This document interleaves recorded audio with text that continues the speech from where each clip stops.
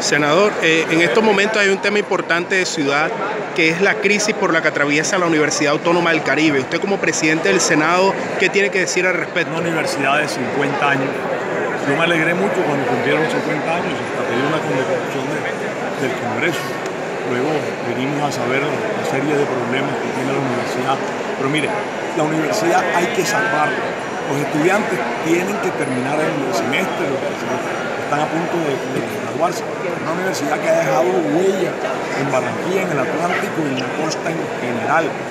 Cientos de miles de egresados. De manera que el concurso y el llamado al Ministerio de Educación es salvar la Universidad Autónoma del Caribe, porque así lo merecen sus estudiantes. Desde el Senado se piensa apoyar de alguna forma las pesquisas que adelanta la Fiscalía. No, pues puede ser que hay división de los poderes públicos, ese es el sector judicial, pero por supuesto que respaldamos de todo lo que tenga que ver con la pesquisa de la Fiscalía.